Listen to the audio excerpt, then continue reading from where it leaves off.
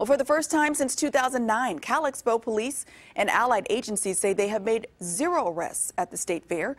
Additional officers are on patrol this year to help to create a sense of security for everyone. Opening weekend at the state fair drew about 100,000 visitors.